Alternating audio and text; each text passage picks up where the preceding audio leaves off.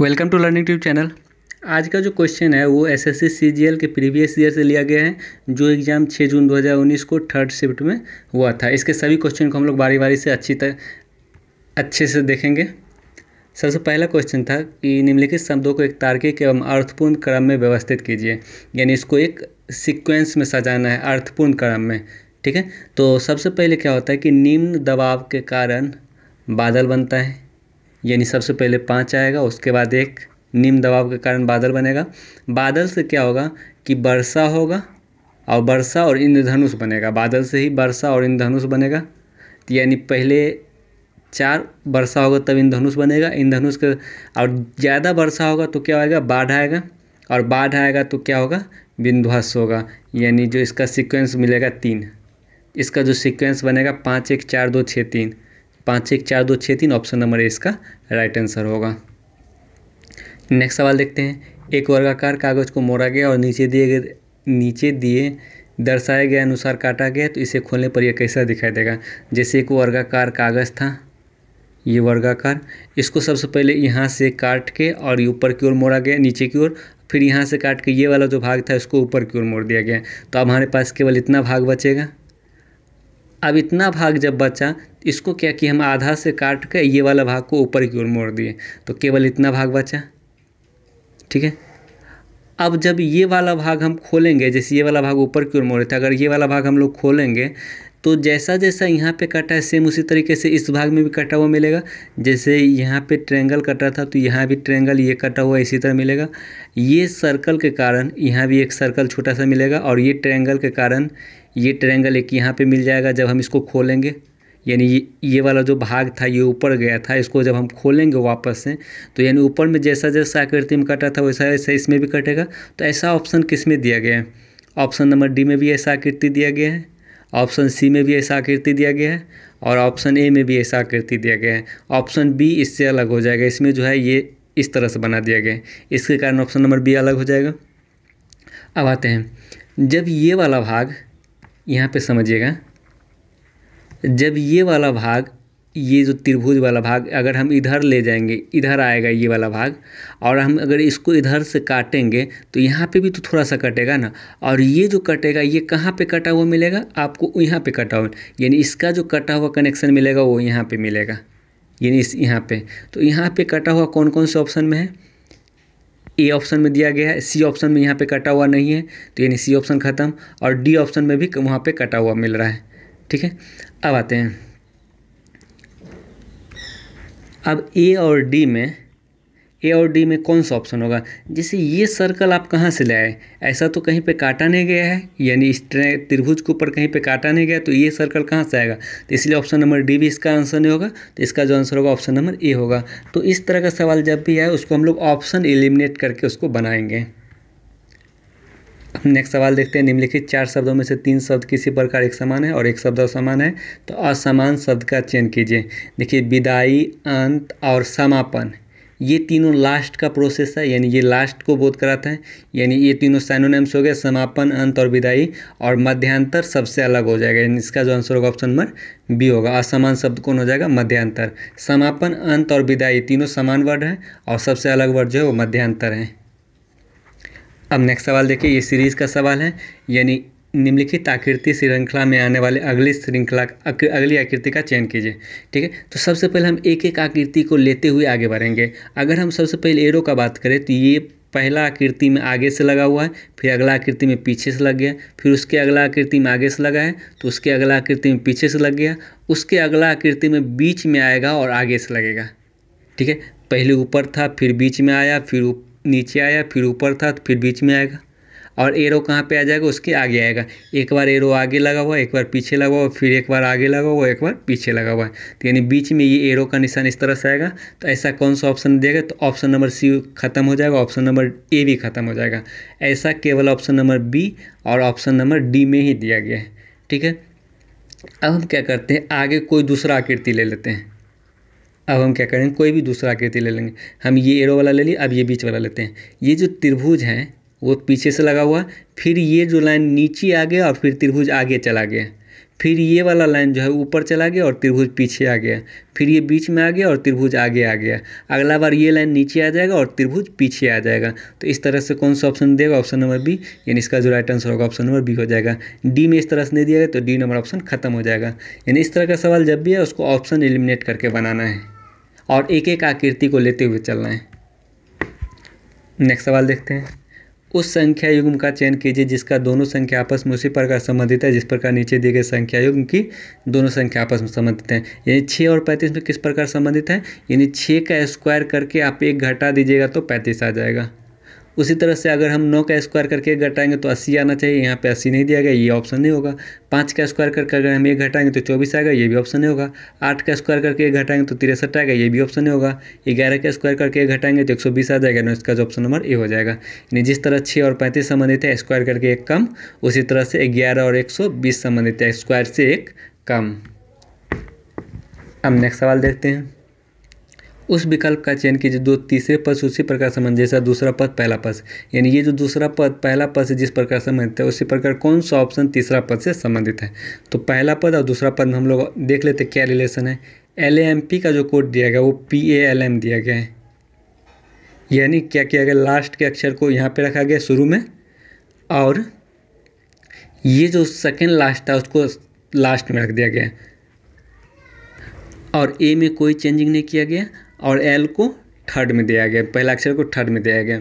तो उसी तरह से अगर हम मेल का बात करेंगे एम ए एल ई का तो पहला अक्षर को थर्ड में हम लोग ले आते तो एम आ जाएगा।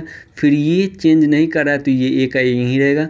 और ये एल को यानी थर्ड अक्षर को लास्ट में ले जा रहा है तो यहाँ पे एल आएगा। और ये फ़र्स्ट अक्षर को लास्ट अक्षर को फ़र्स्ट में ला जा रहा है, यानी यहाँ पे ई आ जाएगा। तो ये E M L option number A इसका राइट आंसर हो जाएगा छः का। तो जिस प्रकार इसमें रिलेशन दर्शाया गया उसी प्रकार इसमें भी हमें रिलेशन निकालना है। और ये सब चीज़ हम लोग कोडिंग डिकोडिंग में अच्छे से बता चुके थे। अब नेक्स्ट सवाल देखते हैं। सीडेटिव का जो कोड है, वो इस तरह से दिया गया यानी सीडेटिव का ही सारा का सारा अक्षर यहाँ पे है। तो हम उसको भी देख लेंगे, यानी किस प्रकार कोड किया गया, यानी S C D A T I V E sedative और इसका जो कोडिंग दिया गया A T D E S E भी आए, ठीक है? अगर हम देखें तो ये ए टी जो ला, ये जो बीच में दो अक्षर है, इसको ए टी यहाँ पे एज इट इज़ उतार दिया गया, यहाँ पे लिया गया। और ये एस सी डी जो था, इसको डी ई एस कर दिया गया, यानी यहाँ पे ले आया गया। और आई वी ई को ई वी आई यानी उल्टा कर दिया यहाँ पे। सेम उसी तरह से अगर हमें पर्सनल को को चेंज करना है P E R S O N A L personal को अगर हमें चेंज करना है तो सबसे पहले क्या करना पड़ेगा? जैसे यहाँ तीन अक्षर को, ये जो स्टार्टिंग का तीन अक्षर था, आगे तीन अक्षर में उल्टा करके लिखा गया दो अक्षर छोड़कर, उसी तरह से हम दो छोड़ के और ये पी ई आर को है, आगे हम तीन अक्षर में लिखेंगे तो आर ई पी हो जाएगा। फिर क्या क्या, जैसे ए टी को शुरुआत में ले आया गया, उसी तरह अगला दो अक्षर एस ओ को शुरुआत में ले आएँगे तो एस ओ यहाँ पे आ जाएगा। फिर ये एन ए एल को पलट के, जैसे आई वी ई को पलट कर ई वी आई लिखा गया, उसी तरह अगर हम एन ए एल को पलट कर लिखेंगे तो एल ए एन हो जाएगा। तो ऐसा कौन सा ऑप्शन में दिया गया? S O R E S O R E P L A N option number A में दिया गया। तो इसका जो राइट आंसर होगा ऑप्शन नंबर ए हो जाएगा। अब नेक्स्ट सवाल देखते हैं। इसमें क्या महिलाएँ उद्यमी और इंजीनियर उद्यमी का जो अर्थ होता है, वो इसको एज ए बिजनेसमैन बोल सकते हैं। उद्यमी को हम लोग बिजनेसमैन बोल सकते हैं। इंटरप्रेनर उसको बोलते हैं, बिजनेसमैन। ठीक है? तो अब एक चीज़ बताइए, महिला उद्यमी यानी बिजनेसमैन और इंजीनियर, इसमें किस तरह का संबंधित है? यानी संबंध है वो देख लेते हैं। देखिए, महिला और उद्यमी में किस प्रकार संबंध है? कुछ का संबंध है। यानी कुछ महिला उद्यमी होता है, कुछ पुरुष उद्यमी होता है, कुछ महिला उद्यमी होता है। ठीक है? इंजीनियर और उद्यमी में क्या संबंध है? यानी कुछ इंजीनियर उद्यमी होता है, यानी सभी इंजीनियर तो बिजनेसमैन नहीं होता, कुछ ही इंजीनियर बिजनेसमैन होगा। महिला और इंजीनियर में क्या संबंध है? यानी यहाँ भी कुछ का संबंध है, यानी कुछ महिला ही इंजीनियर होगी। यानी जब तीनों में कुछ कुछ का संबंध आ रहा है तो ऐसा कौन सा ऑप्शन में है? ऐसा ऑप्शन नंबर सी में दिया गया। ऑप्शन नंबर ए नहीं होगा, क्योंकि यहाँ पे एक रिलेशन सभी का दे दिया गया तो ये ऑप्शन ख़त्म। और यहाँ पे इस दोनों में कोई रिलेशन नहीं दिया गया, जबकि हमें तीनों में कुछ ना कुछ का रिलेशन मिल रहा है तो ये भी ऑप्शन ख़त्म हो जाएगा, क्योंकि इस दोनों में जो है कोई रिलेशन नहीं दिया गया है। और ऑप्शन नंबर डी देखें तो इसमें सभी का संबंध दे दिया गया है, यानी सभी का। तो सभी का रिलेशन तो हमें कहीं पे मिल ही नहीं रहा है। तो यानी ये तीनों ऑप्शन खत्म तो ऑप्शन नंबर सी इसका राइट आंसर हो जाएगा। यहाँ पे कुछ कुछ का रिलेशन तीनों में कुछ कुछ का रिलेशन दिखाया गया है। अब नेक्स्ट सवाल देखते हैं।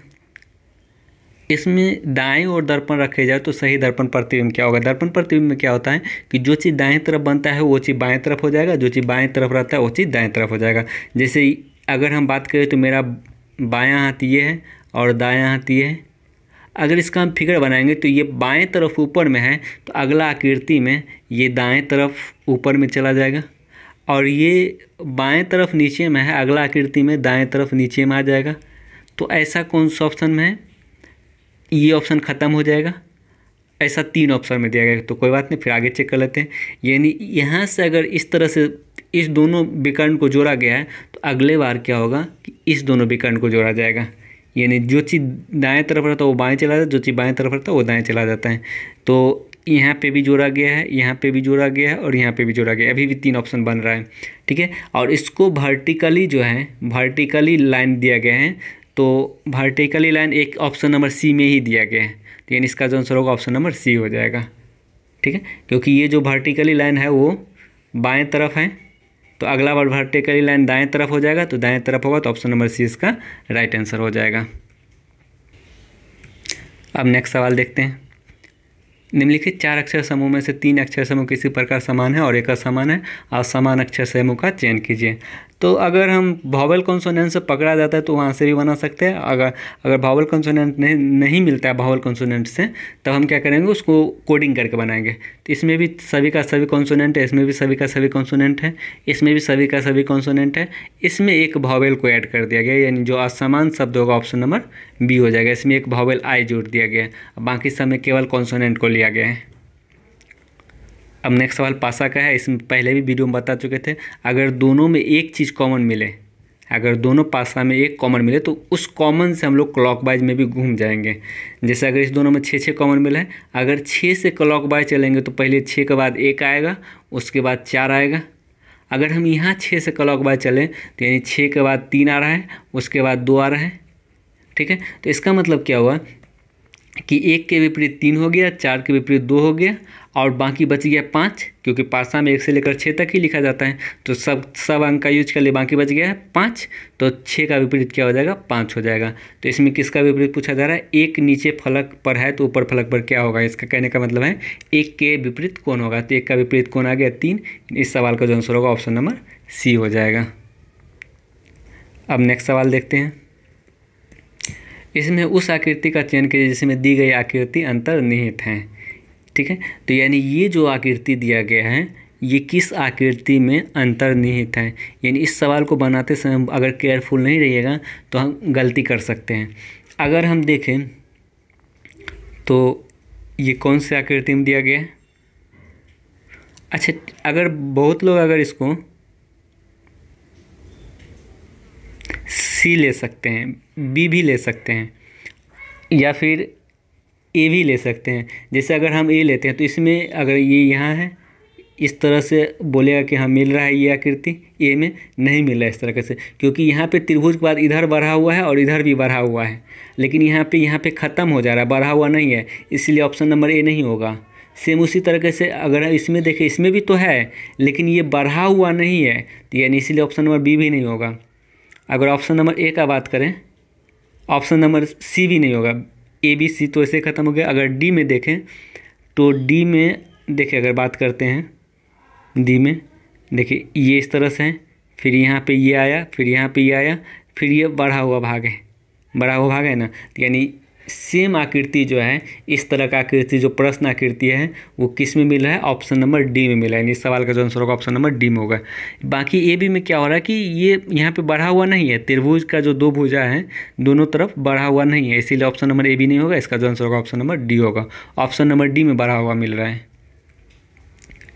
नेक्स्ट सवाल देखते हैं।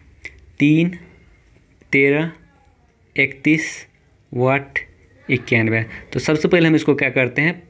दे जोड़ कर देखते हैं कितना कितना बढ़ रहा है। तो पहले दस बढ़ा फिर कितना बढ़ा अठारह बढ़ा दस का फिर अठारह बढ़ा तो अगर हम सोचें तो दस के बाद अठारह बढ़ा तो अगला बार कितना बढ़ना चाहिए?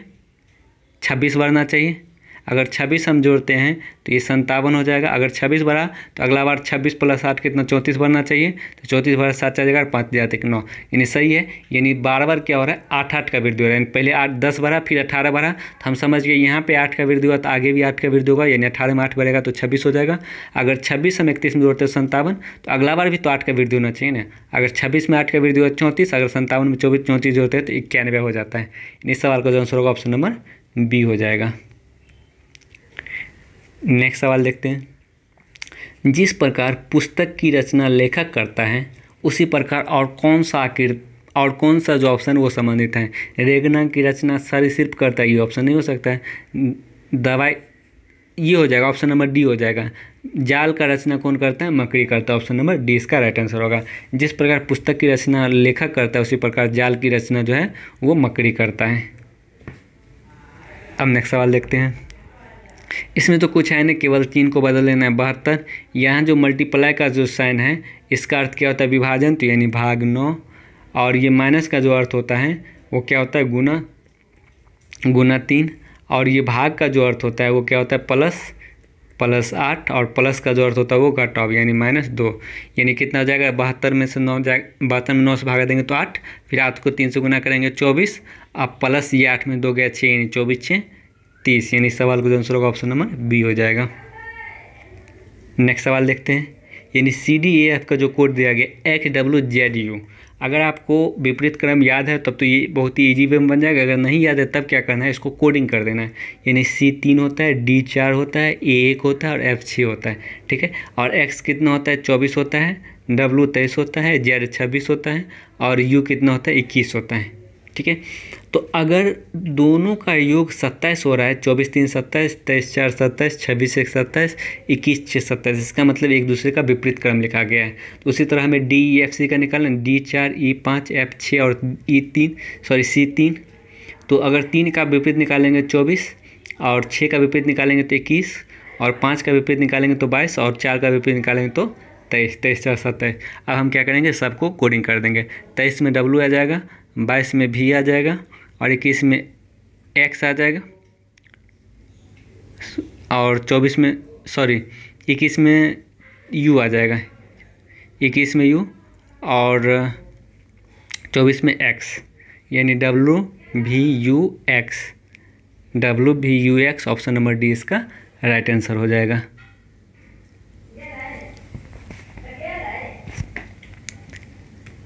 नेक्स्ट सवाल देखते हैं।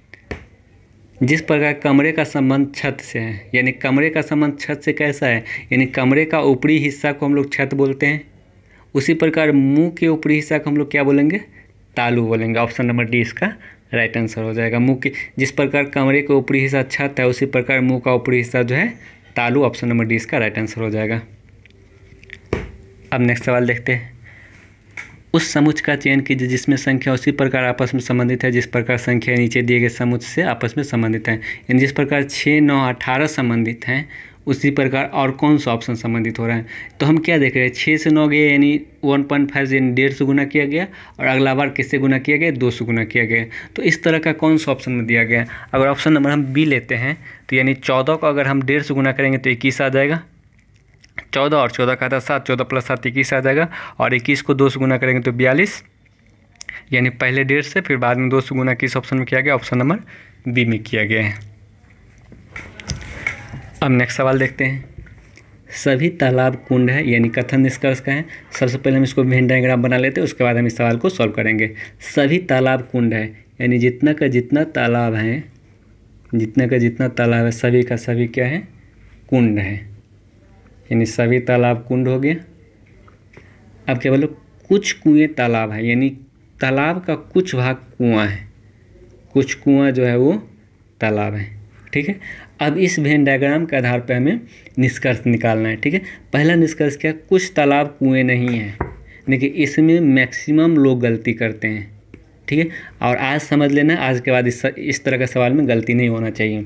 इसमें बोला गया, कुछ तालाब कुएँ नहीं है तो बहुत लोग बोलेंगे कि कुछ तालाब कुएँ नहीं है। यानी बहुत लोग बोलेंगे कि यहाँ पे कुछ तालाब कुआँ का नहीं हो रहा है, यानी ये सही है। नहीं, ये गलत हो जाएगा। क्यों? क्यों गलत होगा? तो यहाँ पे बोला गया कि कुछ तालाब कुएँ नहीं है।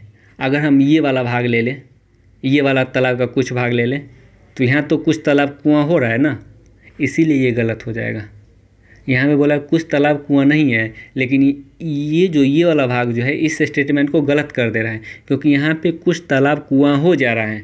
इस, और जबकि यहाँ पे बोला, कुछ तालाब कुआँ नहीं है, इसीलिए ये गलत हो जाएगा। दूसरा ऑप्शन क्या है? कुछ कुएँ कुंड हैं, यानी कुआँ का इतना बड़ा भाग में से इतना बड़ा भाग तो कुंड हो रहा है तो इसलिए ये सही हो जाएगा दो नंबर। और सभी कुंड कुएँ हैं, यानी कुंड का सब भाग कहाँ कुआँ हो रहा है? कुंड का कुछ ही भाग कुआँ हो रहा है तो इसीलिए ये ऑप्शन गलत। यानी केवल निष्कर्ष दो सही है। यानी इसका जो आंसर होगा ऑप्शन नंबर तीन होगा, केवल निष्कर्ष दो सही है। अब नेक्स्ट सवाल देखते हैं। निम्नलिखित चार अक्षर समूहों में से तीन अक्षर समूह किसी प्रकार से एक समान है? एक असमान है, असमान अक्षर समूह का चयन कीजिए। तो सबसे पहले हम क्या करते हैं, इसको कोडिंग कर देते हैं। कोडिंग छोड़ देते हैं। पहले क्योंकि देख लेते हैं, जैसे ए से बी में एक बार है फिर ओ से पी में एक बार है ठीक है? ई एफ़ एक बार एस टी एक बार सी डी एक बार क्यू आर एक बार यानी जी एच एक बार टी के बाद अगर यू होना चाहिए यहाँ पे यहाँ पे भी दे दिया गया, यानी ये जो अक्षर ऑप्शन नंबर सी वो अलग हो जाएगा। यानी दो दो के पेयर में एक एक का वृद्धि हो रहा है। ए बी में एक का वृद्धि हो ओ पी में एक का वृद्धि ई एफ़ में एक का वृद्धि एस टी में एक का वृद्धि सी डी में एक का वृद्धि क्यू आर में एक का वृद्धि जी टी में एक का वृद्धि, यहाँ पे दो का वृद्धि कर दिया था। यानी इसीलिए इसका जो आंसर होगा ऑप्शन नंबर सी हो जाएगा। अब नेक्स्ट सवाल देखते हैं। जो वेरी का कोड दिया गया यू डी क्यू एक्स दिया गया वी आर वाई देखिए, जब एक कमी और एक वृद्धि हो, तब इसको कोडिंग मत क्या कीजिए। देखिए भी में एक का कमी किया गया यू में एक ई में एक का कमी किया गया आर के में भी एक का कमी कर दिया गया, और वाई में भी एक का कमी कर दिया गया। यानी X Y Q R D E U भी उसी तरह से अगर हमें अर्जेंट का कोड निकालना है U R G E N T तो T U Q R F G G sorry D M N S T यानी एक एक का कमी कर दिए सब में। एक एक का कमी। तो क्या आ जाएगा? T Q F D M S T Q F D M S option number B इसका राइट आंसर होगा। अगर वैसे हम दो दो संख्या में लेते हैं तो टी क्यू तो टी क्यू केवल एक ही ऑप्शन में दिया गया तो इसीलिए इसका जो आंसर होगा ऑप्शन नंबर बी होगा। यानी दो को देख कर भी हम लोग इस सवाल का आंसर टेकआउट कर सकते थे। अब नेक्स्ट सवाल देखते हैं। नीचे दी गई आकृति में कितने त्रिभुज हैं देखिए, इस तरह का सवाल जब भी बनाना हो, अगर दो तरह का डायग्राम दिख रहा हो तो पहले हम एक डायग्राम में निकाल लेंगे, फिर उसको क्या करेंगे? दो से गुना कर देंगे। अगर जिस तरीके से ये डायग्राम है, ये छोटू वाला, ये छोटा वाला जो वर्ग है, इसमें इस, जिस तरीके से यहाँ पे काटा गया है, दो विकर्ण से और दो भुजा से सेम उसी तरह बड़ा वाला वर्ग में भी है। सेम उसी तरह से बराबर दो विकर्ण से काटा गया है और दो भुजा से काटा गया है। अगर हम छोटा वाला वर्ग में त्रिभुज का संख्या निकाल लेते हैं, अगर उसको दो से गुना कर देंगे तो पूरा वर्ग में त्रिभुज का संख्या आ जाएगा। अगर छोटा वाला हम त्रिभुज में हम वर्ग का संख्या पहले निकाल लेते हैं, सॉरी, त्रिभुज का संख्या, छोटा वाला वर्ग में, पहले एक विकर्ण से काटा गया, फिर ये विकर्ण से, फिर एक भुजा से, फिर ये एक भुजा से, ठीक है? इसमें हम लोग निकालते हैं। इसमें कितना त्रिभुज है? देखिए, एक, दो, तीन, चार, पाँच, छः, सात, आठ। आठ तो ऐसे हो गया। अब आते हैं। ये एक नौ, फिर ये एक दस, ये ग्यारह और ये बारह। यानी बारह हो गया। अब आते हैं। ये बड़ा वाला लेंगे। तेरह, फिर ये ऊपर से चौदह, फिर इधर से पंद्रह, ये वाला, और फिर ये इधर से सोलह। यानी सोलह हो गया यानी ये जो वर्ग में, चार भाग में जब हम इसको बांटें तो कितना त्रिभुज बन गया? सोलह त्रिभुज बन गया। सेम उसी तरीके से बड़ा वाला में भी सोलह त्रिभुज हो जाएगा। यानी टोटल कितना हो जाएगा? सोलह प्लस सोलह, बत्तीस त्रिभुज। यानी इसमें जो त्रिभुजों का संख्या होगा, वो बत्तीस हो जाएगा। ऑप्शन नंबर सी इसका राइट आंसर होगा। तो इस तरह का सवाल अगर प्रैक्टिस किए रहेंगे तो बहुत ही कम समय में ये सब सवाल को हम लोग बना सकते हैं। नेक्स्ट सवाल देखते हैं। यानी सात, ग्यारह, उन्नीस, इकतीस, फिर ब्लैंक का स्थान आ गया, उसके बाद सड़सठ आ गया।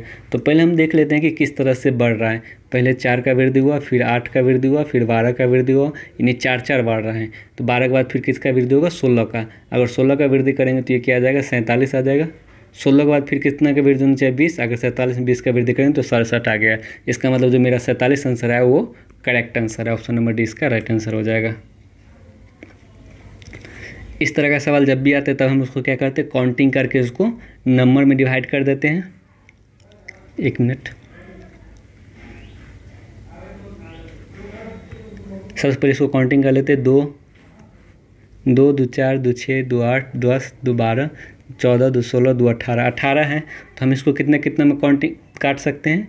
छः छः में काट सकते हैं। यानी तीन तीन छः यानी छः में काट दिए, फिर तीन तीन छः फिर तीन तीन, छः। छः छः में काट दिए। या फिर आप चाहे तो तीन तीन में भी काट सकते हैं, कोई दिक्कत नहीं। तीन तीन में भी काट सकते हैं। तीन तीन में भी काट सकते हैं। तो यहाँ क्या दिखा? A B C A B C दिखा ना? तो यानी जहाँ भी ए दिखे, जैसे यहाँ भी ए बी सी हो जाएगा। ए बी सी हो जाएगा। यहाँ पे ए बी सी नहीं होगा। यहाँ सी रहता तब ना तो इसको अभी रहने देते हैं। जहाँ पे ए बी सी का कम्बिनेशन बन रहा है, वहाँ पर हम लोग बना देते हैं। जैसे ए बी दिखा तो यहाँ पे सी हो जाएगा। A B C A B C मिल गया। अब देखिए लास्ट में डी वी है, यानी डी के बाद बी है तो उसी तरह से ए डी बी होना चाहिए यहाँ पे। और जब यहाँ ए डी बी आया तो इसका मतलब यहाँ भी तो ए डी बी होगा ना, और यहाँ भी ए डी बी होगा। ठीक है? तो तीन तीन के पेयर में भी काट सकते हैं, और चार चार के पेयर में भी काट सकते हैं। तो मेरा जो आंसर है, वो क्या आ गया? यहाँ पे आया बी डी सी यानी बी डी सी और यहाँ पे फिर B A B D C B A कौन सा ऑप्शन होगा? B D C B D C B A option number इसका राइट आंसर हो जाएगा। अब नेक्स्ट सवाल देखते हैं। निम्नलिखित चार शब्द समूह, शब्द युग में से तीन शब्द युग्म किसी प्रकार से समान है और एक सम, एक शब्द युग्म जो है असमान है तो असमान शब्द युग का चयन करें।